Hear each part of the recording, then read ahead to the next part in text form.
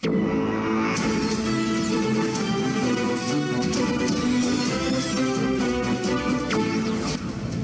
Olá, minha Ceilândia, muito boa tarde. Estamos começando mais um SBT Cidade, aqui pela sua TV Difusora, canal 8 SBT.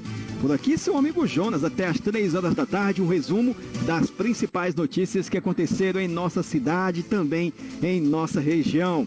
Já mandando aquele abraço a todos vocês do bairro do Jacu, boa tarde a todos vocês. Boa tarde também aos meus amigos da Vila Maranhão, um abraço a todos vocês aí também é, do Barra Azul, você da Flávio Dino, muito boa tarde também você, os nossos amigos do Leolá, Parque Jardins também, tem muita gente assistindo a gente. Um abraço a todos vocês do centro da cidade de Açailândia. Já já eu falo mais bairros, porque já estamos no ar com o seu SBT Cidade.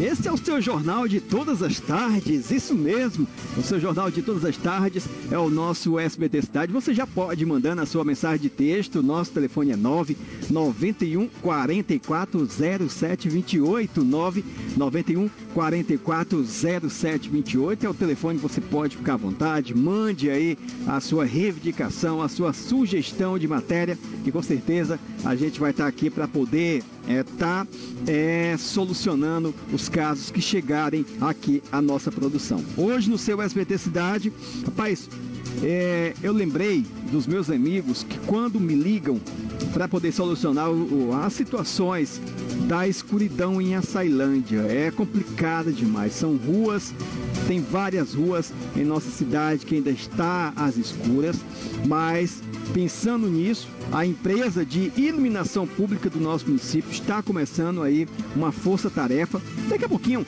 vocês vão acompanhar um pouco dessa matéria, é, onde a iluminação pública da cidade de Açailândia está sendo restabelecida.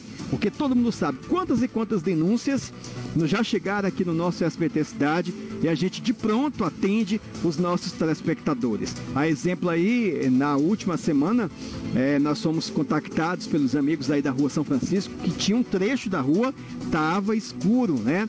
De imediato a gente ligou para os amigos da, da Luzes Açailândia e já resolveram. Então, se você tiver a sua rua, o seu bairro, pode mandar aí o seu contato no nosso telefone que a gente de imediato vamos estar repassando à equipe da iluminação pública do nosso município. Já tem um trecho, Isaac, dessa matéria pra gente? Já finalizou aí? Pois coloca pra gente. Olha só o que você vai assistir já já aqui no seu SBT Cidade.